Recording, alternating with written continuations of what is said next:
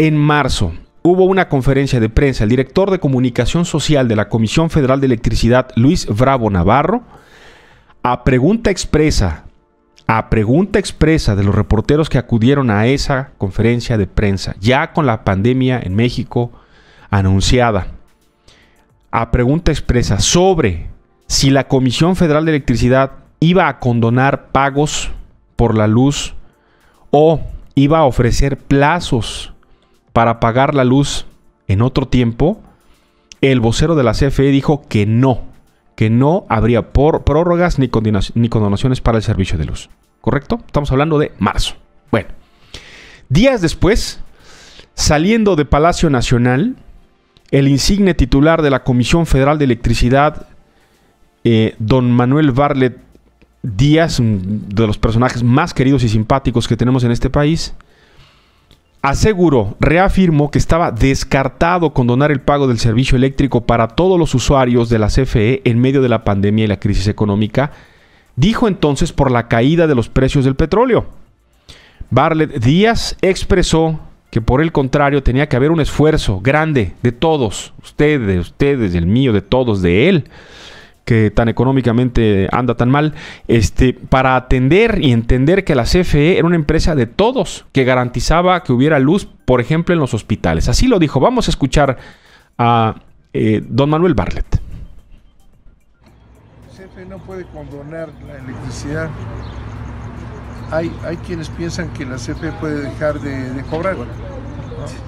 O alguna empresa que dice, oye, porque yo te pago la electricidad dentro de tres meses pero no se dan cuenta que es una empresa como cualquier otra que tiene 90 mil trabajadores, que tiene que pagar los, este, los salarios a todos, que tiene que comprar combustible permanentemente para generar electricidad y no puede hacer condonaciones. Al contrario, tiene que haber un gran esfuerzo de la población de entender que la CPE es su empresa para garantizar la electricidad en los hospitales, en las casas, sea, permanente, es una, es una cuestión vital y deben de cumplir sus responsabilidades con la CFE. Como regla general, la población tiene que atender su responsabilidad para mantener a la CFE este, funcionando.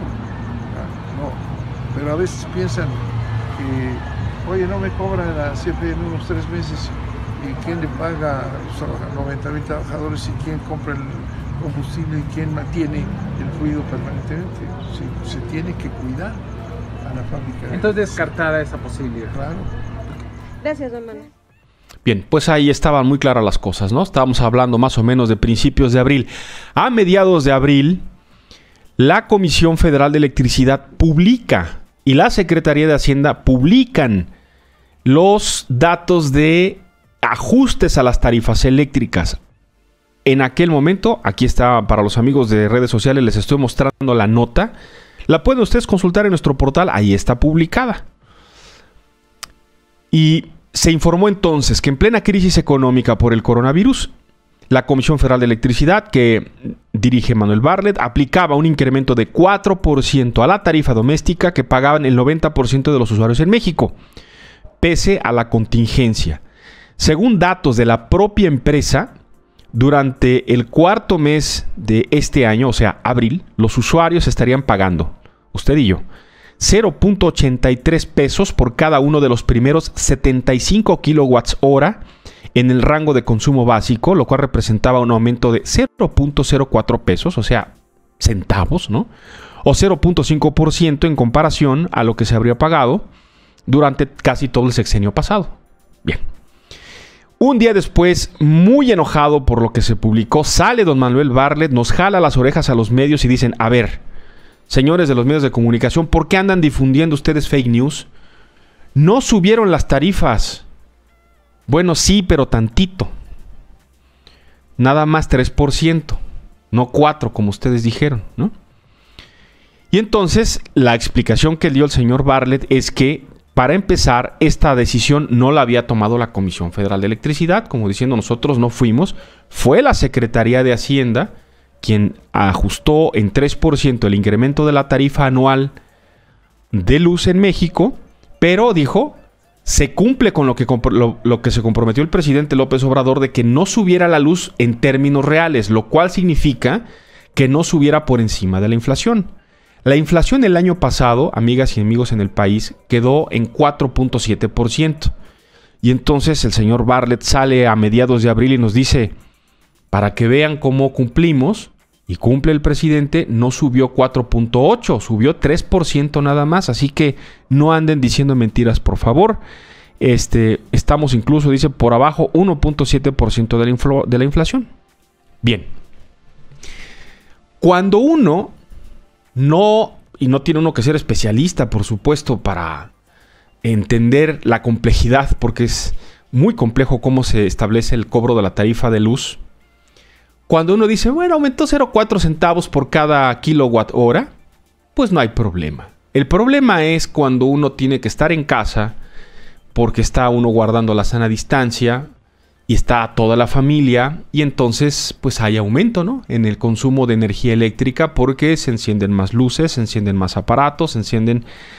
Bueno, entonces el, el semáforo, el medidor comienza pues a, marcar numeritos, porque ahora ya, no hace, ya no hace giros, ¿no? Ahora marca numeritos, empieza a marcar numeritos con singular velocidad.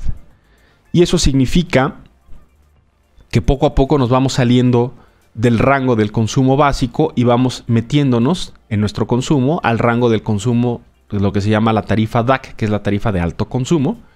Y entre más nos acercamos a eso, la luz cuesta más no es que la luz tenga un precio eh, parejo, digamos, ¿no?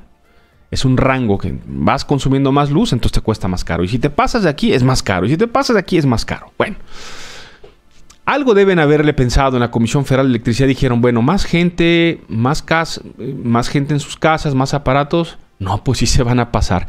Y entonces salieron a finales de abril, este, a, darnos una en, una en un comunicado, porque si quiere hicieron conferencia de prensa, y anunciaron, la Comisión Federal de Electricidad emitió un boletín informando que aunque los hogares incrementen su consumo de energía eléctrica, que es todo lo que les acabo de platicar, no van a caer en el supuesto de la tarifa de alto consumo durante el periodo de la emergencia sanitaria. Y entonces echaron, ya saben, todo el, el acuerdo protege a 39 millones de hogares que atiende la Comisión Federal de Electricidad, es un acuerdo por el artículo quién sabe qué, bis y no sé qué cosa de la Secretaría de Hacienda, todos tranquilos, esa es la ayuda que va a dar la Comisión Federal de Electricidad a la población. Bueno, ¿qué es lo que está pasando?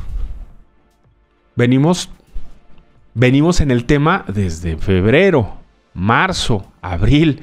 ¿Qué está pasando ahorita en mayo? Bueno, está pasando que están llegando los recibos del bimestre anterior en el mejor de los casos, porque hubo gente a la que no le llegó el recibo, porque el, como estaba la pandemia y había sana distancia, pues no, hubo no, repartieron los recibos. Entonces el CFE dijo, ahí está la aplicación del CFE, como si todos manejáramos la aplicación. ¿no? Imagínense a la gente en el campo. Bájate la aplicación y paga ahí este, por la aplicación, ¿no? Entonces ni recibos entregaron, pero sí llegaron los cortes de luz. Cuando fue la gente, aquí no lo reportaron, cuando fue la gente a la Comisión Federal de Electricidad, oiga, me cortaron la luz, pero ni siquiera me llegó el recibo. Ah, pues no importa, pague usted su luz. Pagaban su luz. Oiga, ¿y este cargo de aquí de qué? Es la reconexión. Oiga, pero si ni siquiera me avisaron, ¿no? Pues ya está cargado la reconexión. Gracias, que le vaya bien. Pero ese no es el problema. El problema es cómo llegaron los recibos. La Comisión Federal de Electricidad ha incluso, pues, este, merecido que algunos gobernadores reaccionen. El de Quintana Roo de plano les envió un oficio a, Manuel Bartlett le dice, oiga, señor Bartlett, fíjese que nos están llegando aquí la gente muy desesperada en Quintana Roo porque pues, les llegan este recibos de 40 mil pesos, ¿no?